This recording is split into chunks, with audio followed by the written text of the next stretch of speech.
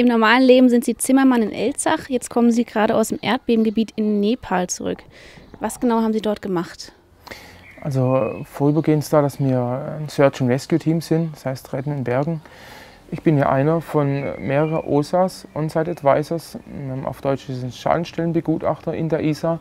Und wir waren da mit in anderen Teams, das heißt, da waren die Engländer, die Franzosen und noch mehr andere Teams waren dabei. Und dann sind wir in die Stadt gegangen, wurde aufgeteilt in glaube vier oder fünf Teams waren es, und sind dann an verschiedene Schadenstellen gegangen, haben die begutachtet, was sind das für Schichtungen, was ist da genau passiert, kann man da noch reingehen oder muss man so ein Haus komplett abreißen.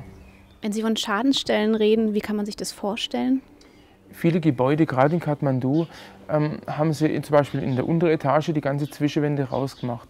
Und wenn so ein Haus in Bewegung kommt, dann bricht quasi der untere Stock zusammen und der Rest liegt oben drauf. Verschiedene Häuser sind nur nach hinten abgekippt, da hat sich einfach die Bodenverdichtung gelöst, dann ist das Haus nach hinten abgekippt. Dann haben sie ja kein, nicht wirklich Zement, die haben Steine auf Steine gelegt und wenn sowas natürlich in Bewegung kommt, fällt es gerade zusammen. Die sind einfach nur Schutthaufen. Sie sind in der BRH Rettungshundestaffel, hatten Sie auch Hunde dabei? Wir hatten auch Hunde dabei. Die ISA hat speziell geschulte Hunde für Auslandseinsätze. Unsere Hunde, wo wir haben in unserer Staffel, sind rein für die Inlandeinsätze hier. Und haben Sie auch aktiv nach Verschütteten suchen müssen? Wir haben auch gesucht, ja. Mit den Hunden und auch wir selber haben gesucht. Konnten Sie Verschüttete auch lebend bergen? Es wurden auch Leben geborgen, ja.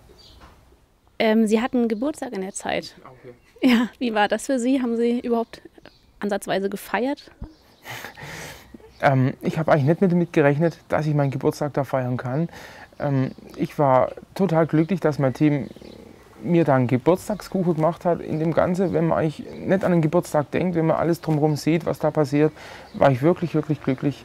Die haben eine Scheibe Toast genommen, haben da Kekse drauf gemacht, eine Kerze mit rein. Hat mich riesig gefreut, ja. Was war das Schlimmste für Sie an dem Einsatz? Ähm, ich denke, das Schlimmste für mich, unter anderem, da ich selber Kind habe, sind die Kinderaugen, die einen wirklich anschauen, so auf die Art, du bist ein Gott, du hast doch bestimmt was für mich und man darf eigentlich nichts rausgeben. Selbst wenn man ein Stück Schokolade in der Hand hat, darf man es den Kindern nicht geben, weil wenn man einem Kind was gibt, ruckzuck sind Hunde da und dann wird es für einen selber gefährlich. Und Eigensicherung geht auch in der ISA immer vor. Wie leben die Menschen jetzt dort? Also was ich jetzt momentan mitgekriegt habe und auch selber sehe, die Leute gehen nämlich zurück in ihre Häuser, die haben alle Angst, nachts da reinzugehen.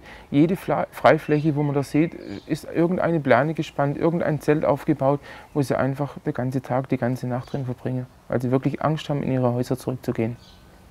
Welche Maschinerie muss in deinem Hintergrund anlaufen, dass so ein Einsatz perfekt koordiniert werden kann? Okay, das ist jetzt eine gute Frage. Klar, man spricht immer meistens nur von Search and Rescue. Das sind die Berger, das sind die Ärzte, wo immer schnell erwähnt werden.